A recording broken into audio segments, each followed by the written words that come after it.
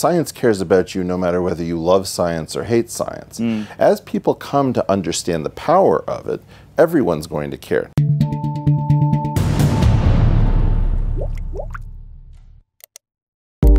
Hi, Eric. Thanks for coming down for the interview. We're going to start with just a very broad general question, and it's what does good science look like, and where, where have we gone wrong? Well, it's odd that you ask me of all people because I think I'm one of the only people who would give you the answer that part of the problem is that we have too much good science. And that, in fact, good science and great science are not exactly the same thing. Good science Okay. is what we're most familiar with because we know how to train people in it. It has to do with uh, being extremely careful, um, not falling for uh, artifacts in your data, um, making sure that you have high statistical significance, being extremely modest in your claims and in your thought process. It's extremely important that there is a core. In fact, the majority of science is good science. What's really disturbing, and I think something that really hasn't been seized upon, is that great science is often very different. It's not just good science turned up to 11, which is my usual line. It's in fact a different process and it borders on the irresponsible. It has to do with crossing the adaptive valley, to posit something that makes no sense, to say things that are in fact wrong for a period of time before they're right. And perhaps the only two really accomplished uh, scientists who've written on this topic with which I'm familiar might be Dirac, who wrote about it in 1963 in Scientific American, an article that needs to be read by everyone, is widely misinterpreted as saying that beauty is more important than agreement with experiment, and Jim Watson, who uh, had rules for succeeding in science. And in fact, these are clearly not rules for good science because he was never a good scientist. He was merely a great one. So, so maybe maybe another example um, is someone like Feynman, right? So the way the way he behaved, the way he toyed with ideas was, I imagine, not very popular at the time, not the not the kind of thing that constituted good science. But he's sort of gone down in history as one of the century defining physicists, right? Yes, although you have to realize that if you really understand Feynman, he was in fact not understanding of his own work. He viewed uh, much of his work as being a dippy process for sweeping away infinities that had plagued the equations of quantum electrodynamics or quantum field theory. And in fact, uh, it took Ken Wilson to really say why Feynman and Schwinger and Tomonaga's techniques uh, in fact worked, that they weren't a, an infinity canceling trick, but rather they were a reflection of scale and something much deeper, which is the restriction of one's questions to the layer or strata at which those questions do not depend on certain inaccuracies or distortions. Every model has distortions. Some questions are dependent upon the distortions at that layer, others are not. If you're very careful, you stratify the questions and the layer of the model, and you can work with a flawed model without getting flawed answers. And so Ken Wilson really elucidated that. Feynman, um, in fact, didn't follow his own theory far enough. One of the reasons he failed to predict the uh, Z naught particle uh, was that neutral currents were needed for renormalization. He had introduced renormalization. He said that's not a good enough reason to predict a particle, and he missed yeah. a great opportunity. Yeah, yeah, yeah, yeah. Interesting. So the, I'm just thinking about what are the characteristics um, of of the people who have been great scientists or have done great science. So, so things like uh, creativity, I imagine, Sure. bravery as well, um, self confidence. So these are because they have to say and do Deception. things. Say again. Well, with Gregor Mendel, for example, we think he fudged his Peapod data to be artificially perfect.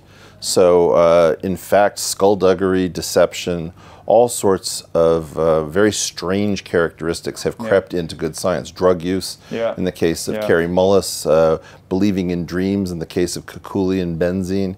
So, I think we have to understand that great science is an entirely different kettle of fish. We're very uncomfortable with it because Mm. how do you teach people? It's like Werner Herzog, the great film director, um, made a point of saying you have to uh, lie, beg, borrow, and steal to make great art. And I think that, that this is really unexplored because we're uncomfortable transmitting the rules for great science, and we've fallen into stagnation because of it.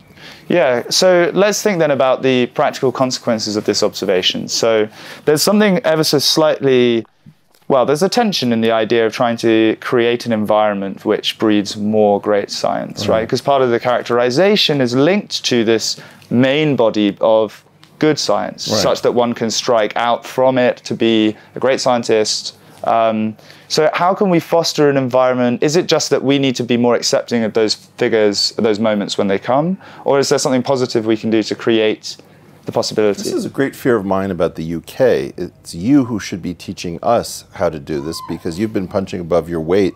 What you do is you put people under incredible pressure to show their competency. But once they've actually sh- revealed themselves to be part of a naturally self selecting elite, you embrace elitism for all of its positives rather than uh, decide that these people have to be subjected to all the horrors of normal life. And I think that the uh, the Oxbridge system um, is in danger of succumbing to America's current passion for uh, equity and egalitarian outcome, when in fact.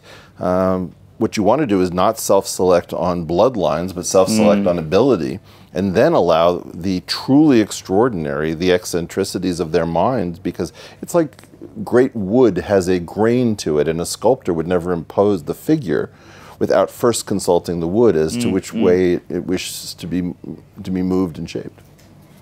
So, this complacency that we, we're worried that perhaps the scientific community, or perhaps the epistemic community at large, is slipping into. Yeah. Um, so, what exactly is is the danger? That is the danger that there will be missed opportunities for discoveries, for revolutions and paradigm shifts, or or is there is there a sort it's of far worse than that. ethical danger as well?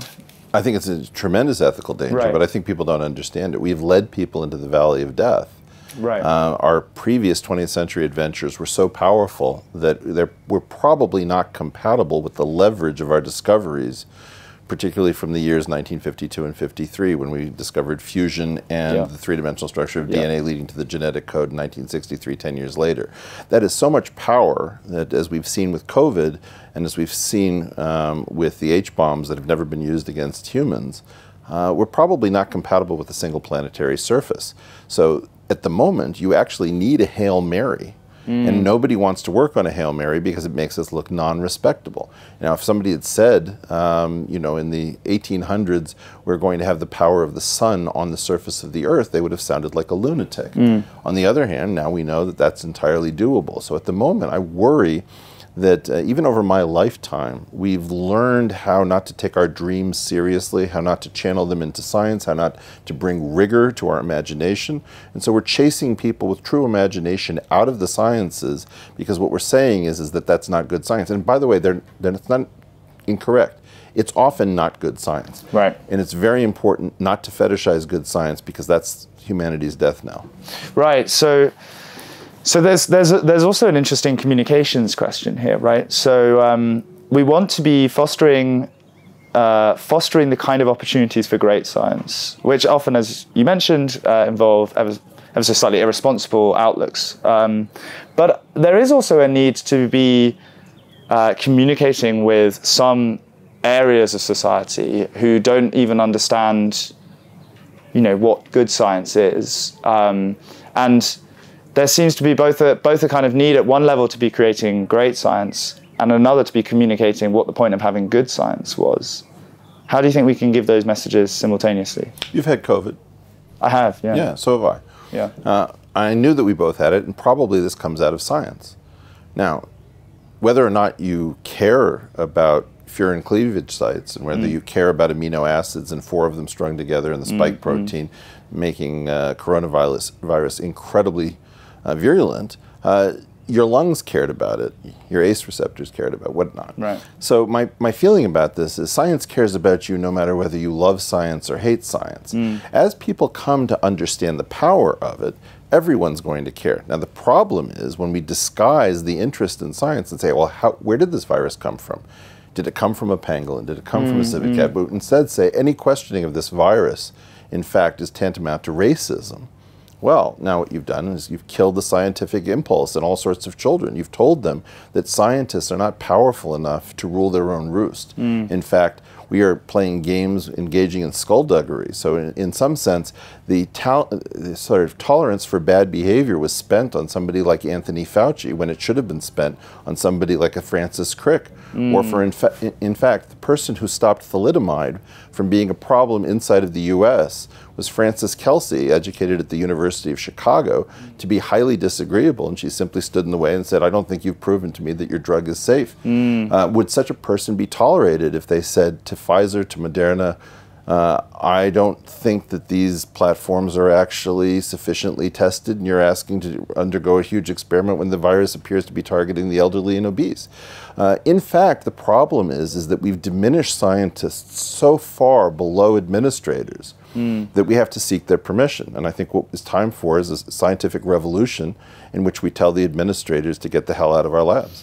Right, right. So so am I am I to hear that the um, because I take it that the usual line is that COVID, though obviously wreaking havoc, was a great opportunity for boosting people's interest in science and boosting some progress on certain specific areas. Sure. Do you realize that with 12 nucleotides you can shut down planet Earth and that you have a child who might have access to PCR and, and maybe CRISPR Cas9? Of course, you can interest anybody in science, but the problem is this idea science is interesting. Take an interest in science. It's right, a terrible right. idea.